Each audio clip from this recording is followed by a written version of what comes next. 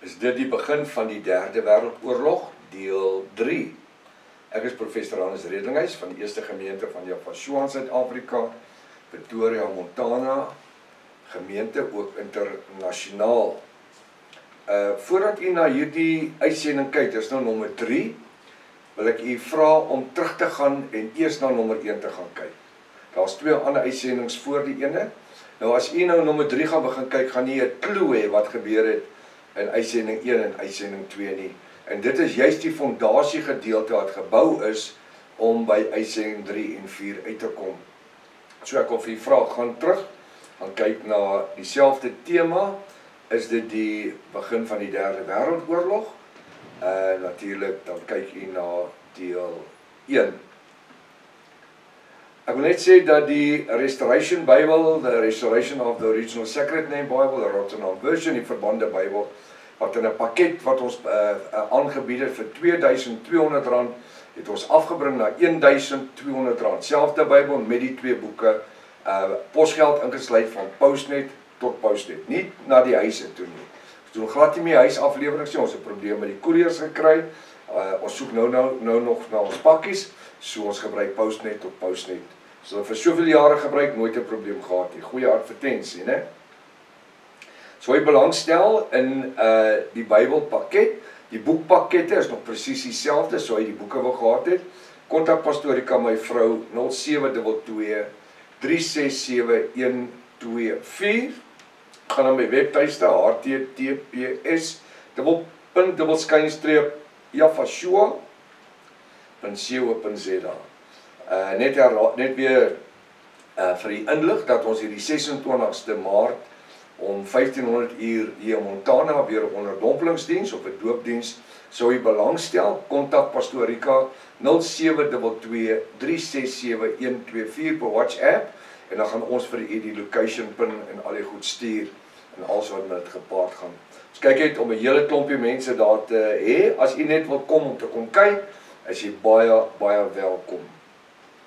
Ons vereenselwig ons in die volgende instansie of groepe nie, ek wil jy moet baie mooi luister enige messiaanse groepe, die Israel Visie groepe, die Hebrew Roots Movement of selfs die Sacred Name Movement nie.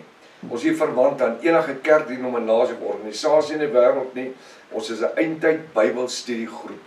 Daar is nie 'n organisasie met 'n moderator en 'n uitvoerende raad en kerkrade en jeugraad. Daar's ons is ons is 'n Bybelstudiegroep. Dis al wat ons doen. Ons bestudeer die woord en almal het deel daarin. Uh ons gebruik hoofsaaklik die 33 Afrikaanse Bybel, 1611 King James Bible of the Restoration of the Original Sacred Name Bible. Dis die Bybel wat do, Dr. Joseph Brand Rotterdam vertaal het in 1860, een van die oudste Bybels, een van die mees gesienste Bybels en dis hoekom hy verbân is in 2005 deur die Wêreldraad van Kerke. Volgens hierdie Bybel is die naam Jesus 'n werklikheid Joshua. Die naam van die Here Jesus is 'n werklikheid Jahshua. Die naam van God is 'n werklikheid Elohim. Uh die naam van die Here is Jaffa en die naam van die Heilige Gees is die Ruach HaKodesh, the breath of Jaffa. Ons is nie Christene nie, maar ons is Jafiste volgens 1 Petrus 4 vers 16 as u dit uit die original Sacred Name Bible dan lees. Goed, is dit die begin van die derde wêreldoorlog? Baie interessante vraag, ek het gesê hierdie vraag uh veroorsaak dat jou nekhare regop staan. Net die gedagte aan 'n oorlog is verskriklik. Is dit die derde wêreldoorlog? Daar's so weer van die predikers wat sê as die derde wêreld ander oorlog, ander sê dis Armageddon wat begin het. Uh en Armageddon moet gou-gou klaarmaak. Dit gaan 3 en 'n half jaar vat vir Armageddon en dan gaan die millennium reign op die aarde aanbreek. Uh Ek weet nie so lekker nie. My Bybel sê nie so nie. Jy kan nie Armageddon hê en 'n 1000 jaar vrederyk en weer Armageddon nie. Want die Bybel sê juis dat na die 1000 jaar volëindig is. Openbaring hoofstuk 20 vers 4. Hy sê dan word die duiwel losgelaat uit die put uitgehaal om die Gog en die Gag Magog of die Gog van Magog bymekaar te bring vir die slag van Armageddon. So jy kan nie Armageddon het 1000 jaar vrede ryk en weer Armageddon nie. Waar kom al die ongoddelikes vandaan nadat daar net heilige mense op die aarde was? Ek wil maar spesifiek sê gaan kyk maar na my reeks op YouTube uh oor die 1000 jaar aardse vrederyk. Nou goed. Uh ek het 'n vraag gevra toe ons met die einde van deel 2. Ek het gevra wie was die helpers wat die Gog sou help tydens hierdie oorlog? Nou dit is baie duidelik as u na my reeks gaan kyk het op uh, in Openbaring die Openbaringsreeks Openbaring 6 ek dink is deel 3 of deel 4 jy kan kyk jy kan maar van deel 1 af kyk dis die vier perde uh eerste perd tweede perd derde perd drie uh, vierde perd uh die vierde perd se kleur was vaal die Engelse Bybel sê greyos hy sê 'n mervos uh 'n vaal perd watter kleur is vaal vaal is grys grys kry deur swart en wit te kleur, te veel wit of te veel swart, wat dit kleur. Ons het gesien dat in die reeks oor die oor die vier uh, pere, die vier ruiters van die pere, dat uh dis 'n kloros, die Griekse woord wat gebruik is is kloros vir die per. Kloros, klorofil, klorosol wat beteken groen, grasgroen. As jy as jou swembad groen is, wat gooi jy in hom? Kloor.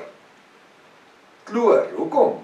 Want kloor en is te doen met klorosol wat die groen is van die swembad, is om die groen weg te vat. So nou is daar 'n vertaling wat sê it is a grey, it is a green horse. Maar die skrywers van die vertalers van die Bybel kon nie skryf groen perd nie. Dan sou almal gedink hy is mal. Maar Islam se klere is groen. En hy gaan die Gog wees En soos ons deurstap, gaan ek vir u wys, gaan hy sy goglande inbring. Uh Tubal en al die ander en hy gaan hulle inbring in sy uh uh uh in sy uh weermag in sodat hulle kan optrek teen die volk Israel. So ek wil weer vir u sê as u nie seker is nie, want ek gaan nie nou die hele relaas lewer oor die uh, groen perd nie, gaan na Openbaring 6 Dis in die Openbaringsreeks op YouTube. Dan kyk na Openbaring 6. Begin by deel 1, werk die rooi perd, eh, die valperd, ag die rooi perd, die swart perd. Uh eers die wit perd, die rooi perd en dan die swart perd en dan die valperd wat natuurlik die groen perd is. Werk hulle deur. Dis baie interessant. En dan wanneer jy by die valperd kom, dan sit dit omtrent 'n 4 of 'n 5 sessies oor met al die skrifte en al die goed en al die navorsing gaan kyk na dit. Goed. So van hier af gaan ek na die God verwys as Islam. Hoekom? Want jy as jy kyk na Openbaring hoofstuk 13. Hy praat van vers 1 Openbaring 13 vers 1 van die dier wat uit die see uitkom. Nou as jy Openbaring 17 vers 1 lees, dan praat hy van die Babiloniese hoermoeder wat op die water sit. Nou sê hy vir my dat waters is mense, volkere, nasies en tale. Openbaring 17 vers 15. So hoe sit die Babiloniese hoermoeder, die Rooms-Katolieke Kerk? Hoe sit sy op die waters? Dis mense, vir nasies, volkere, tale. Nou het ons gesien dat in Openbaring 13 vers 1 kom die dier uit die see uit. Die see is water. Mense, volkere, nasie, dis die paus. Dis die anti-kris. Hy was eers die paus toe na die verbreeking van die verbond toe die brei weggeneem is, toe verander hy in die anti-kris vir 7 jaar en 105 dae gaan dit dan die anti-kris wees. Nou daarso in Openbaring 13 vers 1 kom die dier waar uit? Dis dier met die sewe koppe en 10 horings uit die see uit. See is mense, volkere, nasies en tale. Openbaring 13 vers 11 is daar 'n tweede dier wat uit die aarde uitkom. En dis die valse profeet. Jy sien nou draai die ouens dit om. Hulle sê nou nee, daai is die anti-kris. Nee, gaan lees jou Bybel. Hy sê as die valse profeet wat die wonderwerke doen, dat die mense die dier wat uit die see uitgekom het kan aanvaar en kan glo. Nou die Bybel sê dat die dier wat uit die aarde uitkom. Nou wie kom uit die aarde uit? Baie eenvoudig. Wanneer jy kyk na uh, Abraham en en uh, na, na Abraham en uh, ons kyk na sy vrou, dan sien ons dat hulle 'n kind, Ismael. Ismael.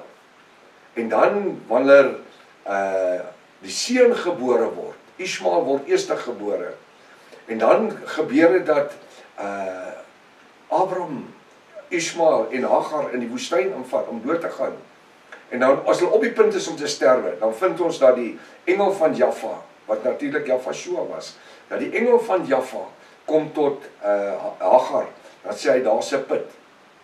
Laat julle drink van daai put. Hy sê dan Jaffa gaan Ismael seën. 12 stamme, 12 prinses sal uit hom voortkom. En hy sal 'n woestynbewoner wees. Wie's dit? Ismael en sy nageslagte sal woestynbewoners wees. Want hulle sal uit die aarde uitkom. Het ons dit?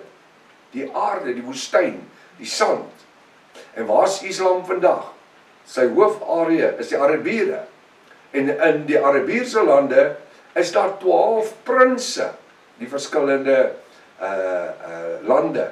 12 prinses, presies soos wat die woord sê.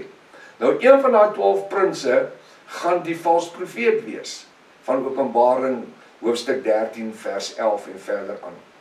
En hy gaan die wonderwerke doen en hy gaan die nasies versamel, die islamitiese nasies wat eers die wat eers die Vatikaan gaan afbrand en die oorlog teen die Vatikaan doen, Openbaring 18.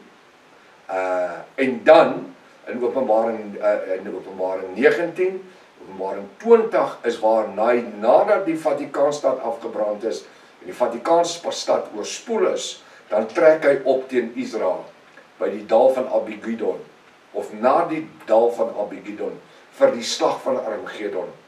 En dis waar Jaf, dis nou waar Jehog nou ons gesien Openbaring 20 vers 8 praat van die Gog en die Magog. Ons nou gisterand gesien die Gog van Magog. Sien nie die geskiedenis wat ek vir jou uitbring en hoe die stukke bymekaar pas om by die woord uit te kom. Ek kry niks uit nie.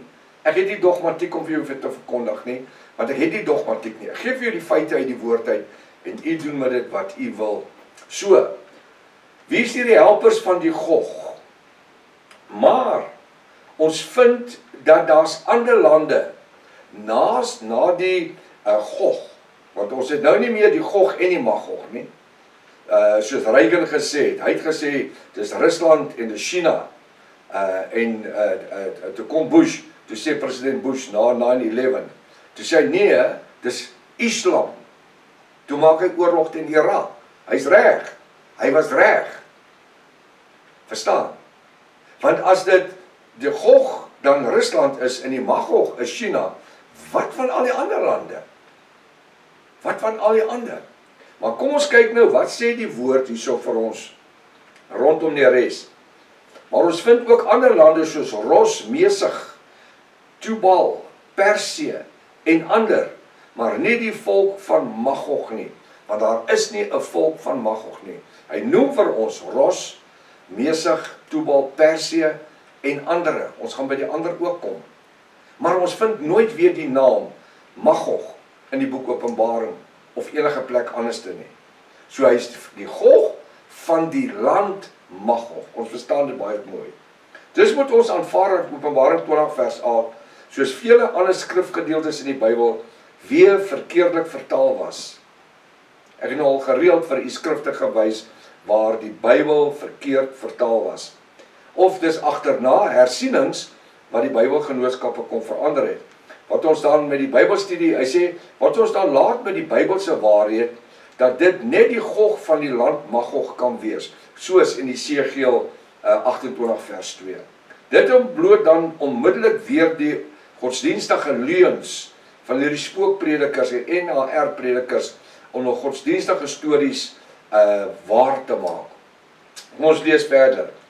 Jesegiel 38 vers 3 en sê so spreek Jahwe julle Elohim Kyk, ek het dit teen jou Gog Fors van Ros. Hy sê nie Gog en Magog nie of Gog van die land Magog nie.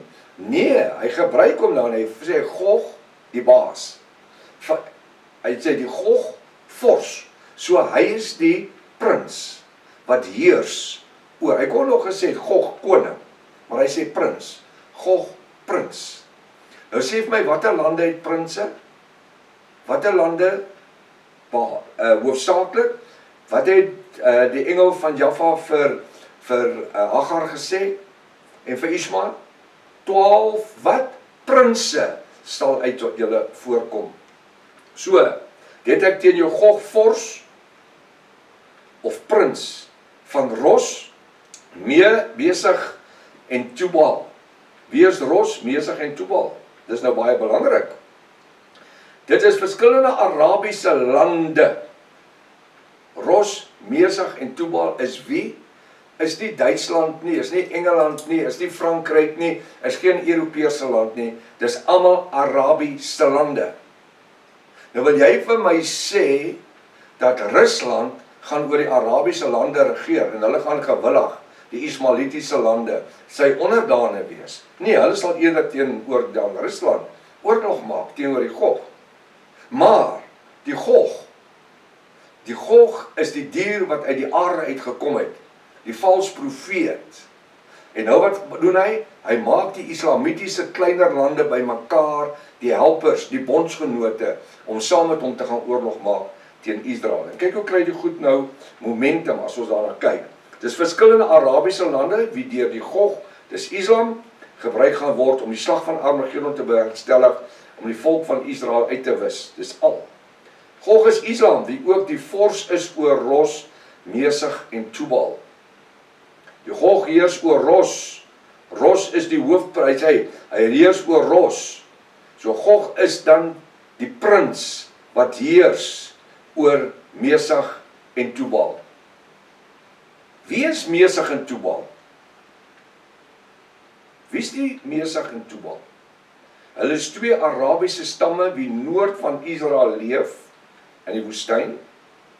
Hulle is twee nasies, hierdie twee nasies vorm die sleutel om te verstaan wat werklik in hierdie profesie gaan gebeur. So hier's twee, Mesig en Tubal is langs mekaar en hulle gaan 'n verskriklike belangrike rol speel in die slag van Armageddon. Tubal is 'n werklike deel van Turkye. Hoe eenvoudig is dit? Waar is die ouens wat die kaarte ken? Tubal is Turkye deel van Turkye. Turkye. Tubal lê suid van Turkye. Mesig is 'n werklikheid ook deel van Turkye. Mesig is noord naby die Swart See, noord van Turkye by die Swart See. Wat nooit vergeet moet word nie is dan die feit dat Jaffa ons Elohim of die God van Israel haat hierdie Gog. Die woord gesê ek haat hom. Maar hy gaan hom toelaat om sekere dinge te doen. En ek Jaffa die Elohim van Israel sal jou Gog weglok. Nou moet jy mooi luister. En hakke in jou kakebeen sit. Nou wat beteken dit om hakke in sy kakebeen te sit? Jy sien hier's beeldspraak en dis hierdie beeldspraak wat die ouens net so oorlees. Hoe hy gaan hakke in sy kakebeen sit, dan gaan hy aan want hulle kan nie van die mense verduidelik wat dit is nie. Dit is beeldspraak om die Gog te beperk in 'n stryd teen Israel.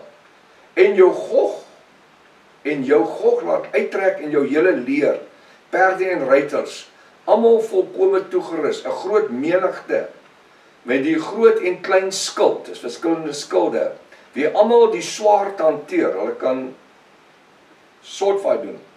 Met ander woorde, hulle is almal behoorlik toegerus vir oorlog, Arabiese oorlog. Nou wie gebruik perde? Die Arabiere. Wie gebruik swaarde? Arabiere. Wie gebruik skilde? Die Arabiere. Nou hoe pas hulle in by Rusland? Gebruik Rusland swaarde. Aan ander plek sal ons sien spiese en stokke en knopkieries Wat seker draai in Afrika gemaak, knopkieries. Daai knopkierie word genoem 'n traditional weapon. So die Arabiere, laat ek my die Arabiere het hulle ook gehad. Vers 8 en ver uh, Jesaja 38 vers 5. Hy sê Persië. Want ons is nou besig om te kyk na die ouens. Persië. Wie is Persië? Dis Ethiopië. Kyk na die landkaart. Persië is Ethiopië. Dan sê hy Kustite. Kustite. Wie's dit? Dis Sudan. Ons is nou hier in Noord-Amerika, uh, Noord-Afrika. Wat alles woestyngebied is. Kustite wie Sudan is en Peteers wie Libië is. So kyk nou die verskillende lande wat saam met die Gog gaan veg. maar wat hy die baas oor gaan wees. Saam met hulle die Gog, almal met skild en helm toegerus vir die oorlog teen Israel. Sê vir my, as hulle nou besig is om oorlog die, die Russe oorlog te maak uh op die oomblik. Hoekom is een, nie een van hierdie lande saam in die oorlog gewikkel nie? Nie een nie. Dit is dan die Gog. Nie een van die lande nie. Gamor. Nou wie's Gamor? Hy's ook deel van Turkye. Hy sê hy's deel van Turkye se state. En al sy leers in die huis van Beth en saam met Torgrama. Dis Armenië uit die hoeke van die noorde en al sy leers, baie volke saam met jou Gog van die land Magog. Gog van die land Magog. Ek het dit in hakies gesit. So ons het omtrent 7, 8 lande nou. Wat wat doen? Wat saam met die Gog gaan oorlog maak. Hier is almal lande en stede wie die Gog of Islam gaan ondersteun in sy oorlog teen Israel. Kyk geryk gerus ook na die Openbaringsreeks, Openbaring 6 vers 8, na die valperd. Dit verduidelik die groen klore is klorevol. Ek het dit reeds vir julle genoem. Watter kleur is Islam se vlag? Kan u vir my sê watter kleur is Islam se vlag? Groen. Groen. Israel die volk van Jaffa. Nou skuif die uh kamera af van die Gog af. En hy praat met Israel. Jesegiel 38 vers 7. Hy jou reg gemaak jou klaar. Jy Israel en al jou menigtes wat by jou vergader het en weers vir hulle deur die islamitiese volkere 'n leidsman. Anders sê laat jou lig skyn vir hulle moet hulle nie vrees nie. Na baie dae sal jy dus Israel bevel ontvang. Aan die einde van die jare sal jy 'n land intrek wat van die swaard weer reggekom het, van die swaard waar oorlog was, reggekom het. Wat versamel is uit baie volkere. Nie Rusland nie. Nou kom almal nou sê almal vanaand al die spookpredikers, Rusland Oekraïne oorlog, dis die derde wêreldoorlog. Dis Armageddon. Armageddon. Armageddon. Hoe kan dit Armageddon wees as jy nie een van hierdie ander lande saam met hulle ingekom het nie? Luister wat sê hy. Na baie dae sal jy Israel bevel ontvang aan die einde van die jare sal jy 'n land intrek wat van die swaard weer reggekom het, wat versamel is uit baie volkere op die berg van Israel, die Sion, wat gedurig deur as pynhoop daar gelê het. Ja, dit is uit die volkere uitgebring en julle Israel woon almal weer veilig in veiligheid. Nou wil ek vir u vra.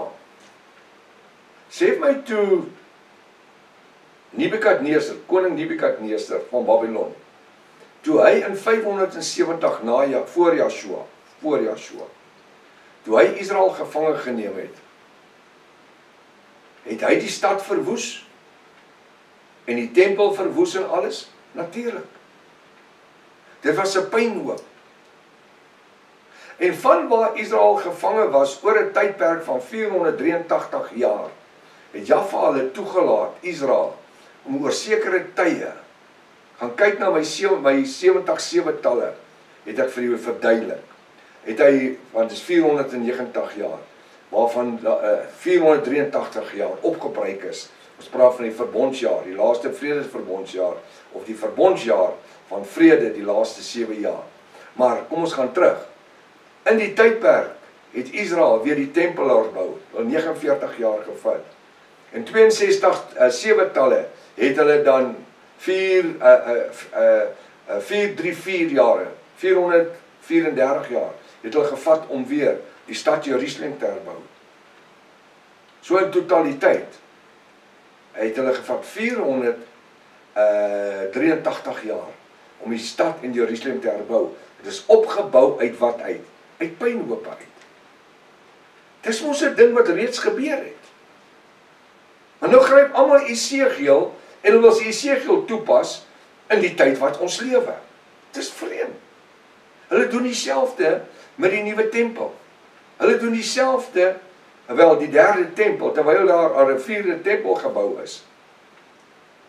Gaan kyk na die reeks uh oor die die leen van die derde tempel wat daar op YouTube is. So so nou hierdie het mos so klaar gebeur. Die Vader sê ek sal dit vir julle doen. En hy het dit gedoen. Kom ons kyk. Gog en sy islamitiese bondsgenote. Vers 9. Dan sal jy Gog optrek soos 'n onweer wat aankom. Soos 'n onweer wat aankom. En jy sal wees soos 'n wolk om die land te oordek. Jy en al jou leers en baie volkere saam met jou, islamitiese bondsgenote. Die Gog of Islam het nie 'n verhouding met protestante, katolieke of Jode of enigiets. Hulle is hulle eie nasie. En laat ek nou vir jou vra, wie is die tweede grootste nasie op die aarde? Wie is die grootste nasie? Kom ek vra eers die vraag so. Dan help ek u. Wie is die grootste nasie op die aarde? Wie sê u? China. Wel, hulle reken so. Rusland. Nee, hulle reken die Chinese is omtrent 'n derde meer as wat die Russe is. So dis Rusland, 'n uh, uh, China, dan Rusland en dan kan ons sê Amerika en maar sê vir my is die Christendom nie die grootste volk in die wêreld nie. Nou wie is die Christendom? Die Katolieke. Het jy gehoor in toe ons my inleiding elke keer ons sê ons is Javiste, ons vereensgelig ons met die denkwyse van die Christendom. Hoekom? Want die Christ Christene is Katolieke. They were called Christians, Christ-like. Konstantin 327 by die Nicene Council of Nicene het hy die woord geskep. Christ-like. Was nie so 'n woord gewees nie. Ja, Yeshua en sy disippels het nooit so woord soos Christus of Christendom gebruik nie. Hulle was Javiste gewees. En dis kom in die Bybel verban is wat ek vir u noem, want hulle wil almal weghou van die Bybel af. Maar Java het 'n plan met alles in die tyd waarin ons lewe. So kom ons gaan terug. So wat gebeur? Is dat die grootste volk in die wêreld, die grootste land, is die Rooms-Katolieke Kerk. Daar's nie 'n land in die wêreld waar daar nie Katolieke is nie. Hy het die grootste weermag in die wêreld. Het jy dit geweet? En hy het nie een soldaat nie. Dis die rykste land in die wêreld. En hy besit nie een bank nie. Nie hulle besit al die banke in die wêreld. Het jy gesien as die paus van die vliegtyg afklim, wat doen hy? Hy buig op die grond as hy by 'n land kom, 'n nuwe land kom, dan sê hy so nederig en stak op sy knieë, dan soen hy die grond. Is 'n nederig ou, né? Nee, weet jy wat doen hy? Hy eis daai grondgebied op vir die Romeinse ryk, Rooms-Katolieke Romeinse ryk jy geweet dat nie Amerika, Rusland, China enig een van hulle het hulle 107 het 'n het meer as 120 ambassades in hulle lande nie. Het jy dit geweet? Nie een land nie. 120 ambassades nie. Maar die Katolieke by die Vatikaan in en om die Vatikaan 197 voltydse ambassades in en om die Vatikaan. Nou wat het 'n kerk met 197 voltydse ambassades nodig. Wel is die Romeinse ryk wat nog steeds lewe. Dis die Romeinse ryk, ek het dit al verduidelik, Rooms-Katolieke Kerk. Ja, of jy die Romeinse ryk en hy stig die Rooms-Katolieke Kerk 34 na Yeshua. Roman Catholic Church. Roman beteken Roman Empire. Catholic beteken united en church beteken universal. Universally she's the mother of all churches. Dis hoekom ek nie 'n kerk is nie, want sy sê my ma nie. Sy's niks van my nie die Romeinse ryk heers oor haar tot en met 570 na Joshua dan verdwyn die magtigste ryk het jy dit geweet die beeld van Babylon die kop is goud Babylon silwer Mede-Perse Griekeland Rome die kuite gedeelte Rome die grootste ryk wat ooit bestaan het Rome. En hulle stig die Rooms-Katolieke Kerk, Roman Catholic Church, the mother of all churches. Sy het vir al 1500 jaar het sy die wêreld geregeer. 100 sy het 'n 'n 'n 150 miljoen Christene, jawel ek wil sê Jafiste en Jode doodgemaak. Enige een wat teen haar gekom het, het hulle doodgemaak. Almal worry oor Hitler wat 6 miljoen Jode doodgemaak het, maar die Rooms-Katolieke Kerk 150 miljoen Christene doodgemaak. En die goed het als gebeur in die donker eeue, dis in die geskiedenisboeke opgeteken en hulle het nog nooit om verskoning gevra nie. Dis die keite. Rooms-Katolieke uh, die Romeinse Ryk, Rooms-Katolieke Kerk, hy beheer die kerk. En dan 570 na Joshua, dan verdwyn hierdie magtige Romeinse Ryk wat die grootste ryk in die wêreld was. Groter as Babylon, Mede-Perse, Griekeland uh uh en en uh uh, uh kom ek net weer terug. Babylon, uh Mede-Perse en Griekeland tesame. Rome. En dan verdwyn hy soos mis voor die son. Hy het nie verdwyn nie. Hy het net onder die Romeinse kerk ingeskuif. Vandag is die pauslike gedaante van die paus. Want onthou Konstantin 327 was die eerste paus gewees. Hy was die paus Pontifex Maximus hoof van die staat, hoof van die kerk. Jy sien hier is my my my eet en drink, dis eskatologie. Hy het dan 570 na Joshua, dan skuif die Romeinse staat onder die Romeinse kerke en vandag bestaan die staat nog net so deur die Illuminati, Jesuite orde, vrymeselary en en en en en die wêreldbanke oplus deel. So kan ek aangaan. Die kerk beheer dit alles. Die kerk beheer die Romeinse ryk. En dis hoekom daar 196 197 voltydse ambassades is. Kry my boek. Vasgevang in die anti-kristus stelsel. Dis 'n boek met 'n kopie en op. Al hierdie goed is daarin. Nagevorsde inligting. Elke boek vir my bibliografies agter, sulke bibliografies waar al die navorsing feite vandaan kom. Ek het van hierdie boek, meeste van hierdie boeke is die laaste 22 jaar wat hulle geskryf het en nog nooit het iemand my gequestion oor die goed nie. Nie een nie want my feite is spot on. Vat nie 'n ding uit my duim uit nie. So, nou praat ons van die Gog in die Islamitiese bondsgenote. Dan vers 9, dan sal jy Gog optrek soos 'n onweer wat aankom. Jy sal soos 'n wolk aan die land ook te oordek. Jy en jou leers en baie volkere saam met jou, dis Islamitiese bondsgenote. Hulle staan nie protestant gebruik nie. Nou kom ek terug. Wie is die grootste volk in die wêreld? Die Rooms-Katolieke Kerk. Wie is die rykste land in die wêreld? Die Rooms-Katolieke Kerk. Die Rooms-Katolieke Kerk. Het jy geweet dat Hitler, dink ons sommer net aan iets. Hitler, Mussolini en Franco was almal drie Jesuïte orde uh priesters gewees? Het jy geweet dat die Rooms-Katolieke Kerk die Eerste en Tweede Wêreldoorlog gefinansier? Lees my boek Vasgevang in die Anti-Kristus-stelsel. Val jy op jou rug agteroor. Het jy geweet dat Hitler het 'n trein met 'n 100 trokke deurgestuur vol al die goudstawe van Duitsland waarheen na die Vatikaan. En tot vandag het die Vatikaan nog nooit vir Duitsland hulle hulle goud teruggegee nie. Vandag is dit triljoene, triljoene, triljoene, triljoene dollars werd. Hulle nog nooit dit teruggegee nie. Die rykste land in die wêreld, maar sy is onder die dekmantel van 'n kerk. Dis eintlik die Romeinse ryk wat nog steeds bestaan vandag met 'n mooi pauslike baadjie aan. So wie is die tweede grootste land? As Islam as as as daar gee ek nou nou weg. As die Katolieke dan die grootste land is, wie is die tweede grootste land in die wêreld?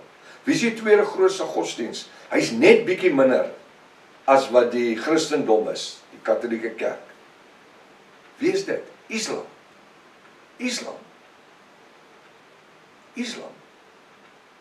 So wat doen uh Islam? Islam in Openbaring 18 gaan die Romeinse die die die die Vatikaanstad uitwis. Islam. Want hy is die Gog. En as gevolg van sy sukses saam met sy uh al sy helpende bondsgenote, islamitiese bondsgenote en dan gaan hulle draai op Israel om Israel uit te haal. En dis waar Jaffa intree. Want hy sê in Openbaring 20 vers 8, hy gaan sommer net 'n woord spreek en vuur gaan uit die hemel uitkom en hulle verwoes. Daai vuur die atoms atomiese oorlog. Niks te doen met die oorlog wat aangaan op die oomblik tussen Oekraïne en die Oekraïne en die en die uh uh, uh Russe nie. Niks, niks, niks nie. Daar staan niks van 'n derde wêreldoorlog in die Bybel nie. Hy en sy bondsgenote, nou het ons die idee van die bondsgenote. Gog en sy bondsgenote is die tweede grootste volk in die wêreld. Nie Rusland nie, nie China nie. Jy sien, almal was bang gemaak met China en Rusland vandat ek 'n jong seun was. Want dit was die kennis wat die ouens gehad het. Maar met al die navorsing en die boeke wat geskryf is wat jy kan gaan navors vandag. Uh in die inligting wat daar is, bewys dit dat die grootste is die kerk, die Romeinse Katolieke Kerk en tweede Islam, tweede grootste geloof. Net net onderkant die Katolieke of minder. Vers 10: So sê Jahwe jou Elohim van Israel: In die dag sal daar gedagtes in jou God se hart opkom en jy sal 'n listige plan beraam. Wie? Dis God. Vers 11 en sê ek sal optrek teen die land van Israel wat oop lê en ek God die land van Magog sal kom by die rustige mense. Nou wie is die rustige mense? Dis Israel. Als wat aangaan op die oomblik. Israel is die rustigste ouens wat daar is. Weet jy hoekom? Want hulle vertrou op Jahwe, hulle Elohim. Wie in veiligheid woon, Israel. Wie almal woon sonder mure. En geen grendels of poorte het nie. Alraai, by die Palestynë vandag wat daar is in Israel, bietjie van 'n ander storie. Maar hulle het nie soos in terme van mure om hulle stede gebou soos dit was in Israel nie. Hier is 'n beeldspraak van die Gog en sy Elimitiese trawante, sy bondsgenote op 'n plan om Israel te oorweldig. Vers 12: Om by te maak uit die volk Israel en rowe te rowe en jou Gog se hande uit te strek teen die pynhope wat weer bewoon is, die pynhope wat reggekom het. En teen 'n volk Israel wie uit die verskillende nasies versamel is, wie vee en goed verwerf het, wie op die middelpunt van die aarde woon. Het u geweet dat die land Israel is presies die middelpunt van die aarde en die Bybel leer dit vir ons? Die aardrykskunde wys dit vir jou. Bybel was spot ongewees met dit. Skeba en Dedan wie almal verward is aan die koopmans van Tarsus Wie al sy jong leeu's vir jou sal sê, kom jy gog om by te maak? Het jy jou menigs bymekaar laat kom om roof te rowe, om silwer en goud weg te dra, om vee en goed te neem, om 'n groot by te maak? Skeba en Dedan vra die ding, hulle is jong leeu's. Jaffa bewaar die volk Israel. Daarom in vers 14 profeteer o mense kan dit sê aan die Gog of sê aan Gog. So spreek Jaffa die Elohim van Israel. Jy Gog sal nie op uh, opmerk die dag as my volk Israel veilig woon nie. Ons gaan oor Israel. Dan sal jy Gog kom uit jou woonplek uit die agterhoeke van die noorde. Jy en baie volkere saam met jou wat almal op perde ry. Sê vir my, ry die russe perde? Nee. 'n Groot menigte en 'n magtige leer. Kan ek vir u sê, die beeldspraak is dat in die tyd van Esegiel was die perd juis 'n vliegtyg, soos 'n vliegtyg. Hulle het perde gebruik vir oorlog. Dit was die voertuig waarop oorlog plaasgevind het. Vers 16: En jy Gog sal optrek teen my volk Israel soos 'n wolk om die land te oordek. Aan die einde van die dae sal dit wees tydens die slag van Armagedon. Dan sal jy Jaffa, dan sal ek Jaffa jou Elohim van Israel jou teen my land laat opkom sodat die nasies my kan ken ek my in jou in Gog voor hulle oë as die heilige laat ken Jafas Shua sal die Gog self vermorsel is dit nie wat hy sê in Openbaring 20 vers 8 nie en wanneer hy Israel wil aanval in die laaste by die slag van Armagedon dan spreek Jaffa net 'n woord uit die hemel daar kom vuur soos in die tyd van Elia met die Baal profete En dan kom daar net vuur uit die hemel uit en dit verteer hulle. Vers 17. So sê Jahwe die Elohim: Is jy dit van wie ek in die tyd voortyd gespreek het deur my knegte, die profete van Israel? wie in die dae geprofeteer het jare lank, dis gelede dat ek jou Gog teen hulle my volk Israel sal laat opkom. Is dit geprofeteer? Ja, dit is geprofeteer. Maar in die dag die dag die dag as Gog teen die land van Israel aankom, spreek jou Elohim, sal my grimmigheid of wraak in my opkom. Wanneer gebeur dit? Aan die einde van die groot verdrukking tydens die slag van Armageddon, Openbaring 20 vers 8. Dan kom sy wraak en sy grimmigheid oor wie? Oor die Gog. Ja. In my ywer spreek Jaffa jou Elohim. In die vuur van my grimmigheid, wat kom uit die hemel uit neer? Openbaring 20 vers 8. Vuur. Is daar Rusland teenwoordig? Is China daar naby? Waarlik in die dag tydens die slag van Armageddon sal daar 'n groot aardbewing wees in die land Israel. Hoekom? Dit is die atoomvuurpyle wat die aardbewing gaan veroorsaak. Dan kyk na my reeks uh oor die 1000 jaar vrederyk. Dan sien jy wat gaan Jaffa doen met die aarde. Ek hanteer dit daarso. Hy gaan hom versmelt. Versmelt. Hy gaan die berge sal brand en die aarde sal versmelt. Daar sal nie een siel op die aarde of 'n dier of 'n mens op die aarde oorbly nie. Die slag van Armageddon vers 20 sodat van my Jaffa julle Elohim se aangesig af weg sal bewe die visse van die see van vrees en die voëls van die hemel en die wilde diere van die veld en al die gediertes op die aarde wat kruip al die mense wat op die aarde is en al die berge sal omver gegooi word. Ek hoor nie een of twee berge. Al die berge Tafelberg ook. Die kraanse sal in mekaar stort en al die mure op die aarde sal val. Al die mure al die mure hoekom? Dis as gevolg van die atomiese oorlog. Die slag van Armageddon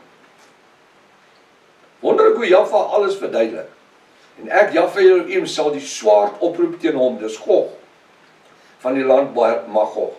Na al my berge spreek Jaffa Elohim die swaard van die een sal teen die ander wees. Wat gaan gebeur? Hulle gaan teen mekaar oorlog maak. Wie? Islam gaan homself uitwis en ek Jaffa Elohim sal met hom dis die Gog en sy Elimite bondsgenote in die gereg gaan deur pes en deur bloed en oorstroming stortreëns haalstene Daai halsteen is 60 kg. En op al sy leers en op baie islamitiese volke wie saam met hom is, Tubal en Perse en Mede, hulle almal. So sal ek Jaffa julle Elohim my dan my groot en as heilig laat ken en myself bekend maak voor die oë van baie nasies. En hulle sal weet dat ek Jaffa die Elohim van Israel is. Nou 'n kort opsomming. Wie is hierdie wat het in hierdie hoofstuk gebeur? Baie eenvoudig gestel. Jaffa die volk van Is van hy sê Jaffa die Elohim die volk van Israel het toegelaat dat hulle in ballingskap weggevoer word.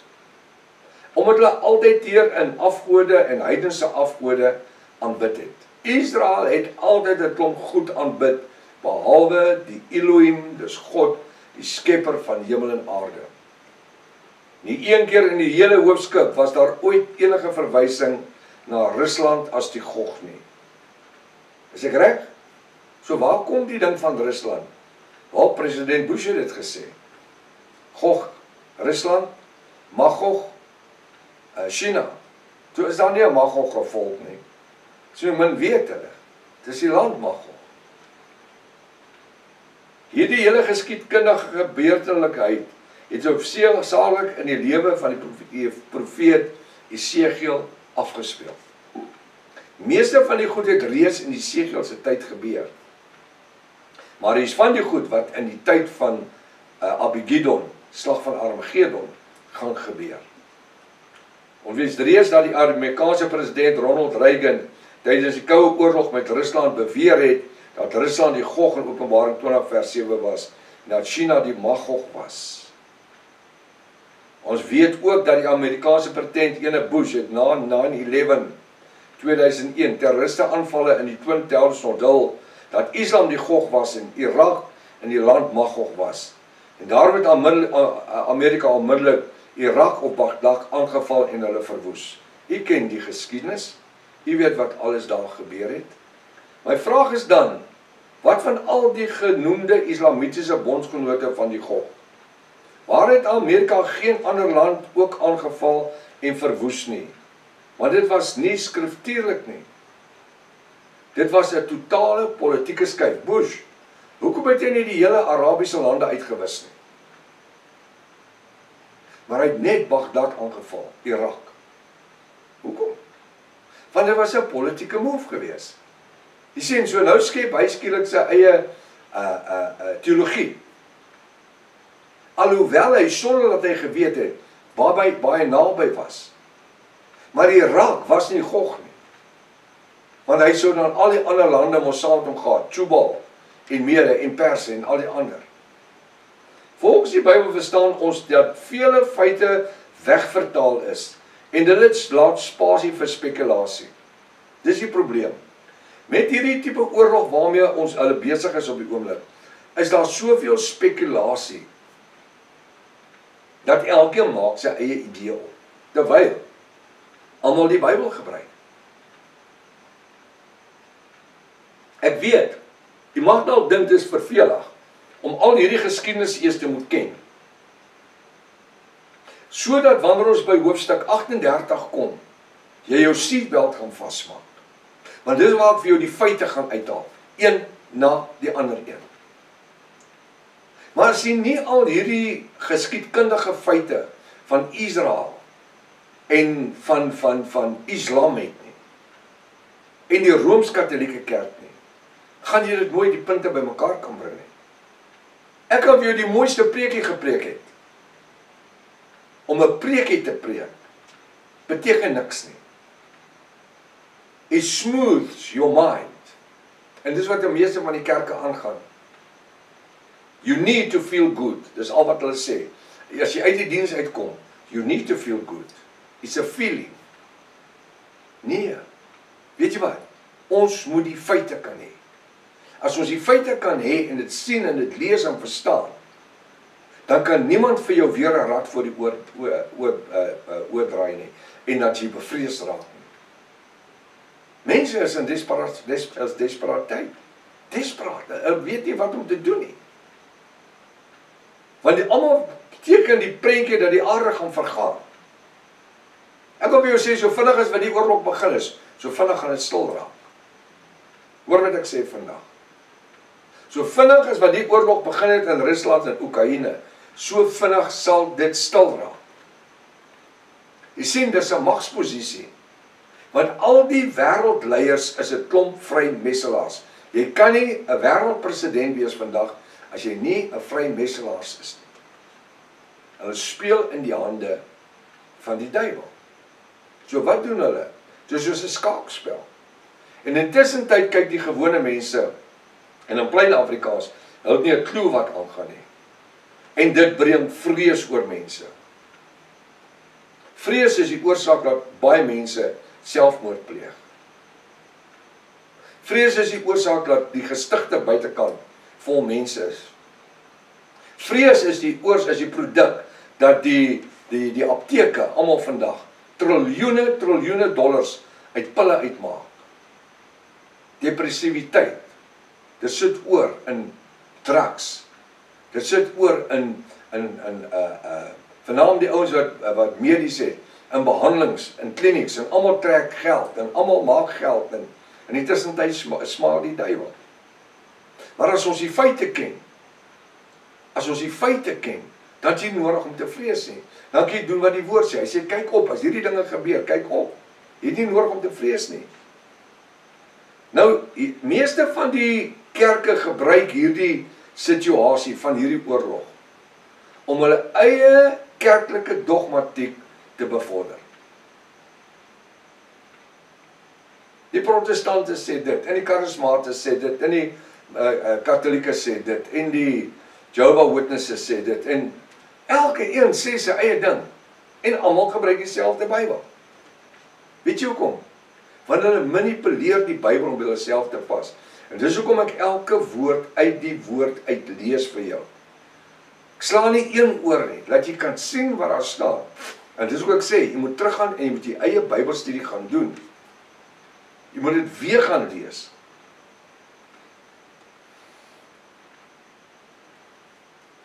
Soos nou ek ek hy sê ek wil net hier so. Die meeste kerke gebruik hierdie geleentheid om hul eie kerklike dogmatiek te bevorder. Soos nou juis weer die geval is met hierdie Rusland-Oekraïne oorlog wat tans heers. Almal wil lyk soos profete. En almal wil lyk soos apostels en almal wil lyk soos waarsêers. Terwyl my Bybel sê in die tyd kyk net op. En dis hoe ek sê ons is nie 'n kerk of 'n denominasie, ons is 'n Bybelstudiegroep. En u moet die Bybelstudie doen rondom die skrifte wat ek vir jou gee. Ons kom nou by een van die belangrikste hoofstukke om te bepaal of die oorlog wat tans tussen Rusland en Oekraïne heers, die derde wêreldoorlog is of die begin van die slag van Armageddon is.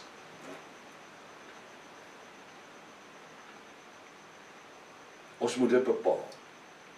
Die volgende hoofstuk gaan vir ons al die antwoorde gee op die vraag wat ek nou gevra het. Is dit die derde wêreldoorlog?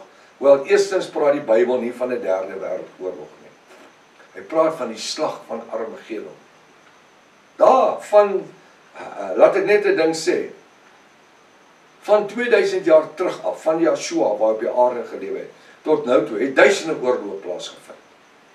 Klein oorlog hier klein oor, dit gaan oor water, dit gaan oor kos, dit gaan oor grondgebied gaan oor goud en edelgesteentes en die goed laat mense te mekaar veg. Vanaand kos en water. Verskriklike kommoditeit. Wat is besig om te gebeur? Water raak al skaarser en kos word skaarser dan ooit. En dieder. Jy stap by Checkers in of een van die plekke. Met vir elke sakkie wat jy mee uitstap by Checkers toe, R250 se waarde wat in daai sakkie gepak is. As jy 4 sakkies uitstap, dan is dit R1000. Dis hoe kos opgegaan het. Ek weet nie hoe leef die ou mensies nie, regtig, en die arm arm arm mense nie. Ek wil nie oor dit eers begin praat maar ek gaan ek bewoor raak en hartseer raak. Maar dis als deel van 'n een, een wêreldstelsel waar alles beheer word deur die nuwe wêreldorde. Nou dat ons die beeldspraak in die volgende hoofstuk behoorlik bestudeer het, sal ons bepaal wie lieg vir wie. Ons het reeds in die vorige hoofstukke meeste van die bondsgenote van die Gog leer ken het. U ken nou die bondsgenote. Gaan lees weer net hierdie hoofstuk 37 dat jy gediend raak, bekend raak met die name van die bondsgenote. U sal onmiddellik weet wie is wie en wat doen hulle. Ek het nie nodig om alles weer te verduidelik nie. Wat ek gaan doen is dat die skrifgedeelte wat ons gaan gebruik, naamlik Esegiel 39 vers 1 en verder vir homself praat. Nou die tyd is ons gevang. Dit het my 3 sessies gevat om met jou die geskiedenis te hanteer uit die Bybel uit. Nou kom ons by die kruts, die hart van dit alles. En dis opgeteken in Esegiel 39. En ek wil hê voordat ons by die volgende sessie kom dat u Esegiel 39 gaan bestudeer. Maak jou eie notaatjies en kyk soos wat ons aangaan deur hom of u dieselfde gevolgtrekkings gemaak het. En ek wil tog sê vir die volgende sessie Bring jou seatbelt saam dat jy hom kan vasmaak dat jy nie uit jou stoel uitval nie. Jy gaan van die grootste geestelike skokke kry in die volgende hoofstuk.